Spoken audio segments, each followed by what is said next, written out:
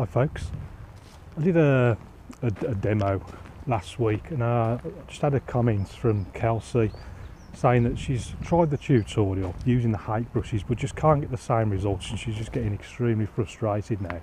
And she's going to try the tutorial with different using a different brush. Obviously nothing wrong with that. I mean it's it's um, whatever materials suit you um, really. But one thing I would say was it, it took me a long, long time to get used to the hake brush. I think for beginners it is a very, very difficult brush to use. The biggest problem is it just holds so much water and trying to create, control the amount of water in the mixes without getting really weak washes is, is difficult at first and takes a lot of practice. So I would say Kelsey, if you can just try the hake for a little bit longer because it, it, it doesn't happen overnight and it will take a few paintings. Just stick it out for a little bit and see how long you can, uh, just see how long your patience will last.